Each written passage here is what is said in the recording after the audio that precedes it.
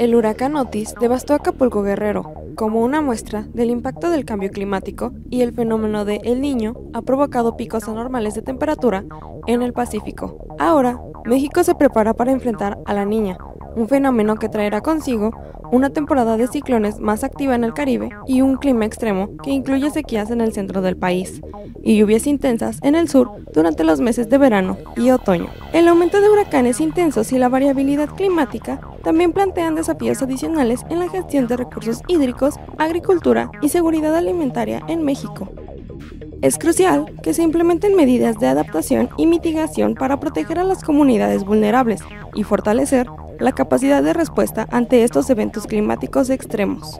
Según el meteorólogo Abimael Salas, se espera una mayor cantidad de huracanes intensos, algunos incluso históricos, lo que significa un desafío para la resiliencia y adaptación ante estos cambios.